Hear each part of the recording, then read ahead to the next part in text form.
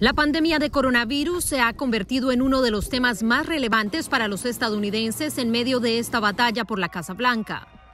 Mi mensaje hoy para las personas mayores de Estados Unidos es uno de optimismo, confianza y esperanza. Su sacrificio no ha sido en vano. La luz al final del túnel está cerca. Estamos dando la vuelta a la esquina.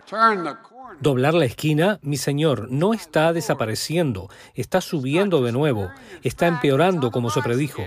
Expertos como Mark Jones, profesor de Ciencias Políticas de Rice University, aseguran que el libre comercio, la inmigración, la atención médica, el cambio climático, el derecho al aborto y el control de armas han perdido prioridad por la pandemia.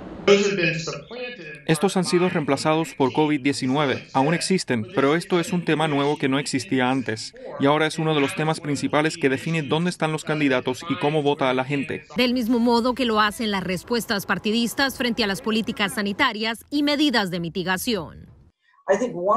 Creo que una de las cosas de la actual administración es que se sienten cómodos en que van a correr en la economía, pero el hecho es que si no controlan este virus, nunca controlarán la economía, así que los dos van mano a mano.